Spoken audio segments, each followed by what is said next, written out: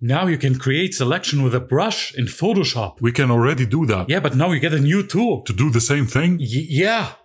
So in the July 2024 release of Photoshop, Adobe has introduced a new tool, the Selection Brush tool. You should be able to select it right here from the lasso tool group in the toolbar. And this is how it works. When you brush around an area on the canvas, you'll see this colored overlay by default. This is actually a selection that you've just created. Don't believe me? Just switch to another tool and you'll see the marching ants. It is a selection. Now switch back to the selection brush tool and it's a colored overlay again. And if you don't want the overlay to be this color, then you can go to the options bar, click on this gear icon and change the default color. Speaking of the options bar, there are some additional options you can use as well. Toggle between add and subtract to refine your selection.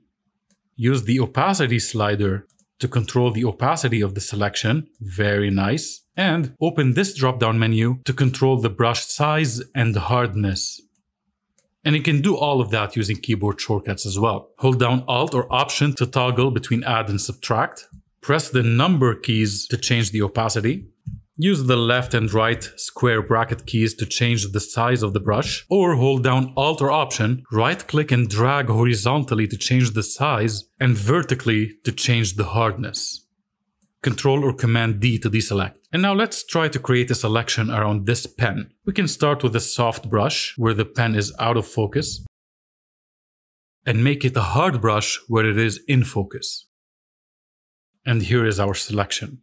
And this can be done with different tools as well. One of which is quick mask mode that can be activated by clicking here or by pressing the Q key. This works almost the same way as the selection brush tool, but with a regular brush. And it offers more options as well. The selection brush tool though is much simpler. So go ahead and use it. If you want. I don't care to be honest.